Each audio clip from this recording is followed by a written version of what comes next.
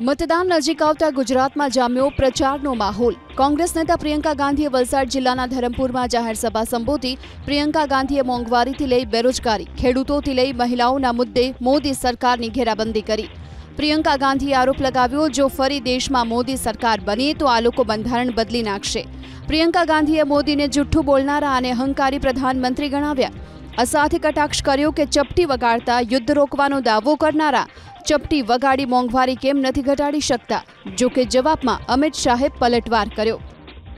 आज हमने देखा कि कितनी खतरनाक चीज कह रहे हैं कि इनके लोग कह रहे हैं कि संविधान को बदलेंगे इस संविधान ने ही आपको अधिकार दिया तो इसको बदलने का क्या मतलब है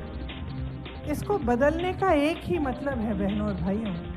कि ये लोकतंत्र को और भी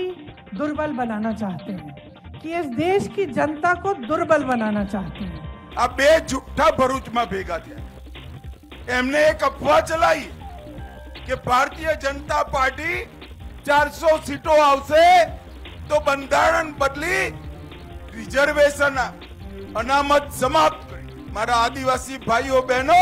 હું એક મોદીની ગેરંટી કહેવા આવ્યો છું નરેન્દ્ર મોદી આદિવાસી દલિત અને ઓબીસી ની અનામતને હાથ લગાડશે પણ નહીં અને લગાડવા પણ નહીં.